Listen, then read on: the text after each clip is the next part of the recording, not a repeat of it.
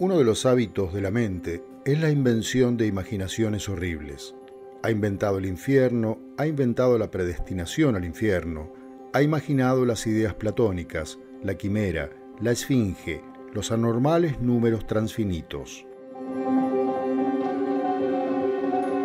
Yo he procurado rescatar del olvido un horror subalterno, la vasta biblioteca contradictoria, cuyos desiertos verticales de libros corren el incesante albur de cambiarse en otros, y que todo lo afirman, lo niegan y lo confunden como una divinidad que delira.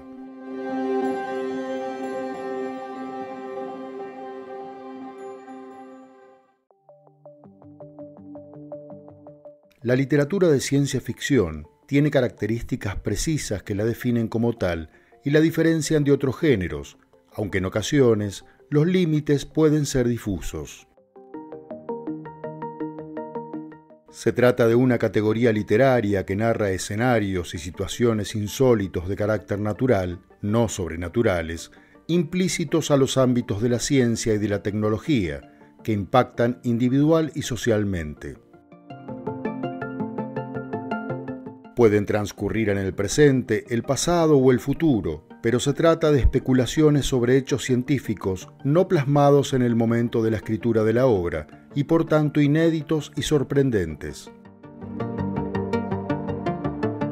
El término fue acuñado en 1926 por el escritor Hugo Gernsback, editor de la revista Amazing Stories, quien dio los rasgos esenciales al género para diferenciarlo de lo que comúnmente se consideraba literatura fantástica.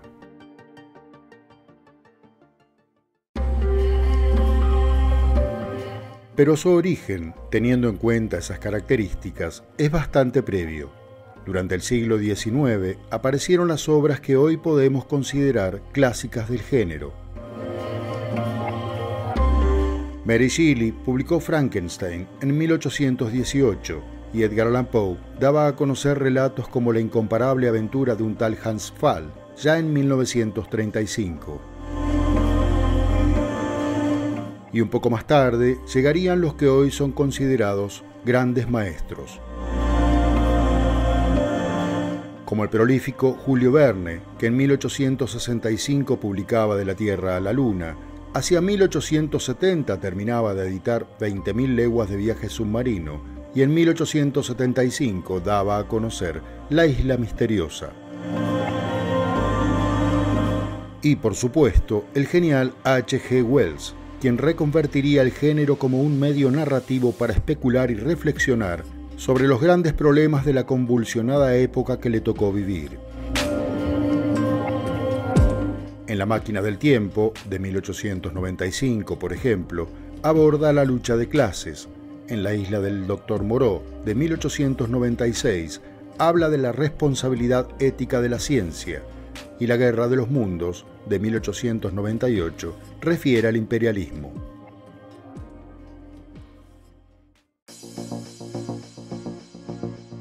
Como puede ser obvio casi para cualquiera, la narrativa de Jorge Luis Borges no se enmarca estrictamente en el género ya descrito someramente.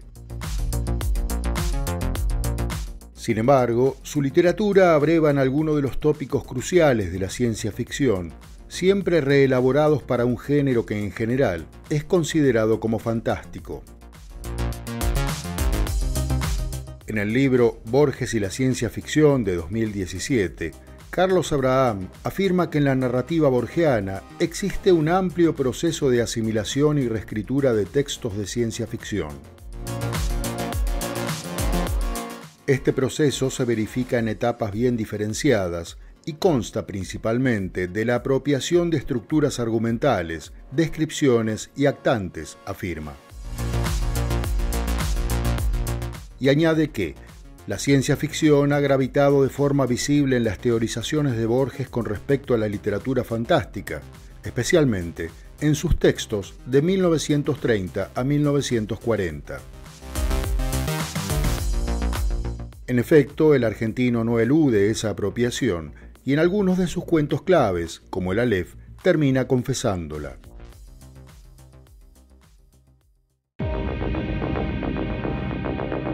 En el Zair y el Aleph, creo notar algún influjo del cuento The Crystal Egg, 1899, de Wells, dice Borges en el epílogo a la edición de 1949 de la colección El Aleph.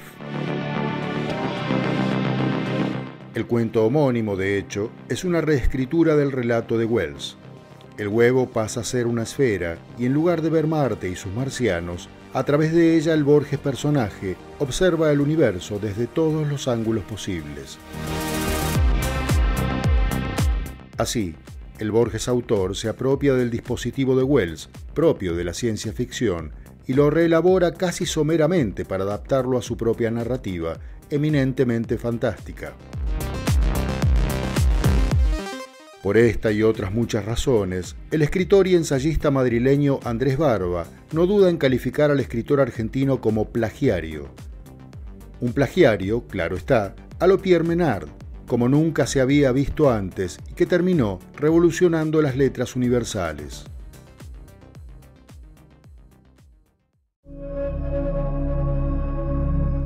El influjo confeso bajo el cual Borges escribió muchas de sus obras no fue fruto de la casualidad. En su infancia y adolescencia, fue un voraz lector de novelas y cuentos que acabaron por ser determinantes para su obra posterior. Nadie, puede culparlo por su fascinación y de habérselas apropiado. Y allí, en la biblioteca de su padre, estaban esos libros, desde las fantásticas Mil y una noches, pasando por el Quijote, hasta llegar a las historias de ciencia ficción, elucubradas por Poe, Wells y Verne, las aventuras de Kipling, Dumas, Conrad o Wilde. Para un niño de principios del siglo XX, esas obras debían ser el motor esencial para hacer despegar y desarrollar una imaginación que en un futuro cercano no tendría límites. Sin olvidar la Enciclopedia Británica, con su casi infinita cantidad de artículos, de los cuales tal vez habrá obtenido inspiración retrospectiva, consciente o inconscientemente. Borges lo confirma en su autobiografía. Si tuviera que señalar el hecho capital de mi vida, diría la biblioteca de mi padre, dice allí.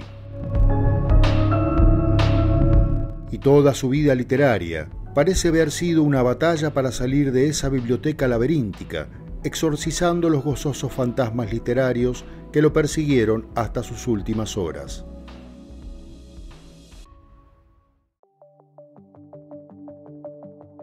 Muchos de los textos de Borges, incluso, pueden considerarse enmarcados en la literatura de anticipación, como también se conoció a la ciencia ficción. Tenemos, por ejemplo, Utopía de un hombre que está cansado, incluido en el libro de Arena, y en el volumen de 1978 Los Universos Vislumbrados, Antología de Ciencia Ficción Argentina, de Jorge A. Sánchez. Otlón Ugbar Orbis Tertius, publicado por primera vez en Sur en 1940 y cuatro años más tarde compilado en ficciones. Por otro lado, en sus célebres clases magistrales de 2013, Ricardo Piglia afirmaba que en Borges la erudición funciona como sintaxis, es decir, la sintaxis es lo que permite articular esa erudición. La erudición de Borges es de diccionario, decía entonces el autor de Respiración Artificial, asegurando que lo que hacemos en Internet, él lo hacía antes. Para Piglia, Borges inventó un modo de trabajar con los textos que se relaciona con la forma en que uno busca una palabra en Google y ve cómo aparece una serie. Martín Cohen, en tanto, dirá después que la imaginación de Borges, su figuración de libros incesantes y bibliotecas infinitas, anticipó Internet de manera asombrosa. Me parece incluso que anticipó una versión mejorada, porque la asoció con el azar y con el destino, más que con el divagar y el desperdicio de tiempo que tantas veces nos ocasiona, completaba.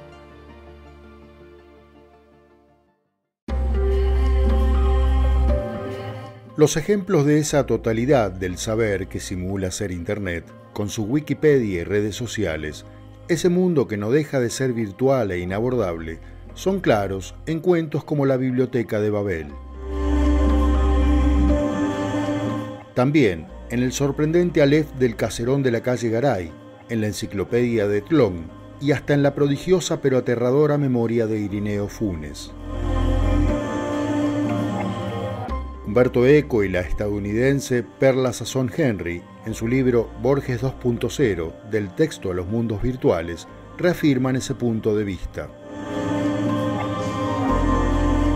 Al igual que los académicos Stefan Herbrecher e Iván Kalus, en Sai Borges, Memories of the Post-Human in the Work of Jorge Luis Borges, publicado en los Estados Unidos. O William Gibson, autor de ciencia ficción que acuñó el término ciberespacio, en la introducción a Labyrinths, antología estadounidense de 1962, que reúne obras en inglés de Borges con prólogo de André Maurois.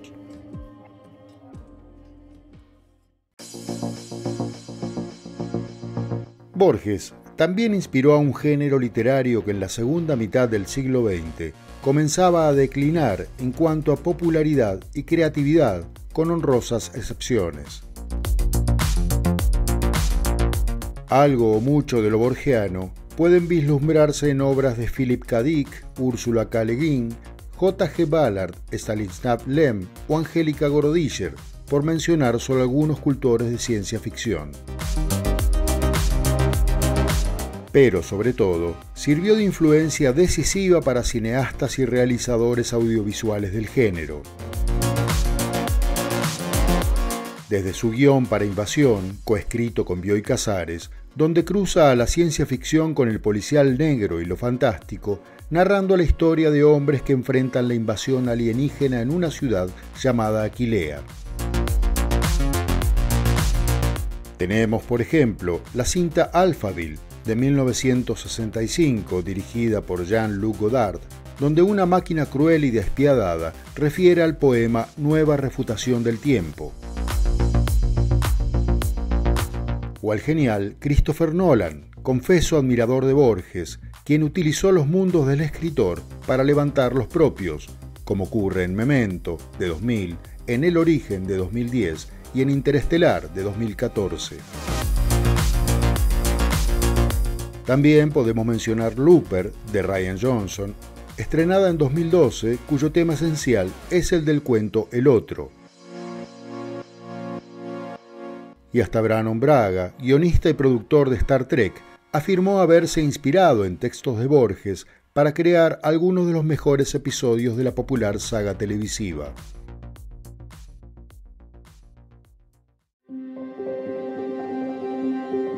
Espero que hayas disfrutado de este informe y dejes un comentario con tu aporte sobre la relación de Borges con la ciencia ficción. Para uno próximo, dejamos todo lo que el argentino dijo y escribió críticamente sobre películas, libros y autores del género, como Wells, Ray Bradbury, Bioy, Herbert Heinlein y Lovecraft, entre muchos otros.